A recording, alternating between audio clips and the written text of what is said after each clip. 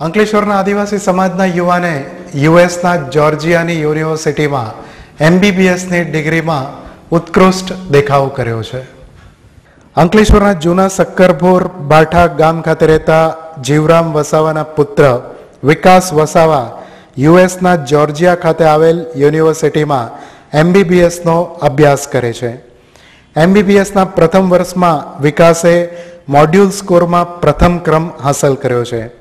અને આદિવાસી સમાજનું નામ રોશન કરતા તેને અભિનંદન પાઠવવામાં આવ્યા છે. મારું નામ જીવરામભાઈ રાયજીભાઈ વસાવા.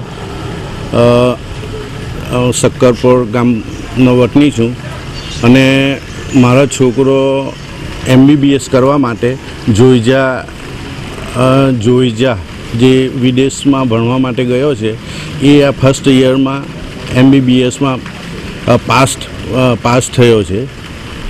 ફર્સ્ટ ફર્સ્ટ એમાં. પહેલા વર્ષમાં પાસ થયો છે.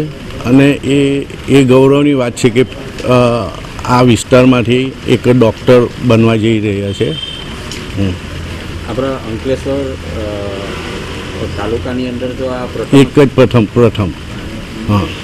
એટલે આ અંકલેશ્વર તાલુકામાં આદિવાસી આદિવાસી જે ગામ એ છે વિસ્તાર એની અંદર આ પ્રથમ જે છે કે ભાઈ ડૉક્ટર સારા રેન્કમાં હા સારા રેન્કમાં વિદેશમાં પાસ થયો.